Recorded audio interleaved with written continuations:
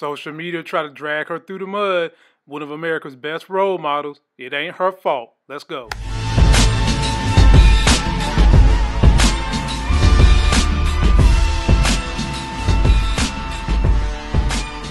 What's good, Life Gainers? All knowing, all loving. Sexy as Hell host Life Gainers channel, Lamont Tyson, and we are talking today about my homegirl, Venus Williams, and the hoopla and the storm she caused on social media with that car accident thing. I've got a copy of the video for context. I'm gonna show you guys this video and then we're gonna talk about it after you take a look at the video. Go ahead and take a look.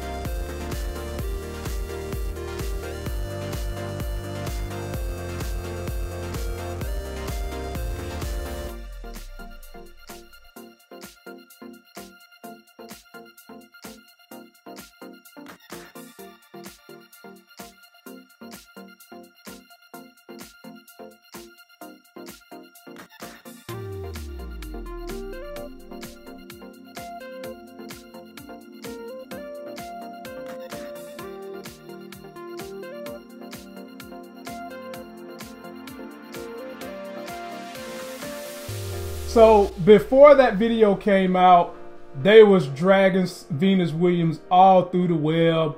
How could she kill somebody? What was she doing? She was a reckless driver. I mean, just dragging the girl through. But after seeing the video, it kind of humanizes what happened. When you go to driver's ed school, they teach you when you got one of those yield red lights, you get in control of the intersection and you wait. And then when the traffic has to stop, you go ahead and go. Similar situation is what happened to her. And I hope this kind of lets people know that there was no malicious intent on her behalf in what happened.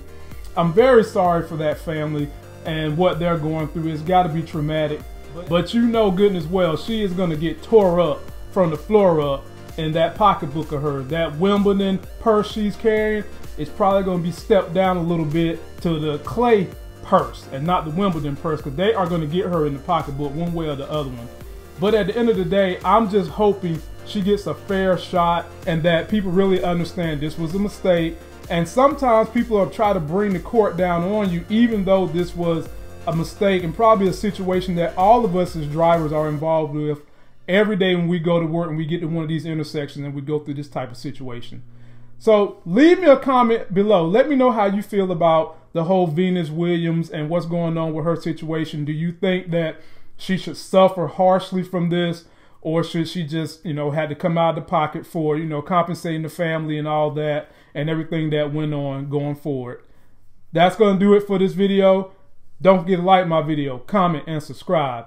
Go out there and get yourself that life gain check my video description box below this video. Check out my affiliates. Check out my past videos. Do some link clicking while you're down there.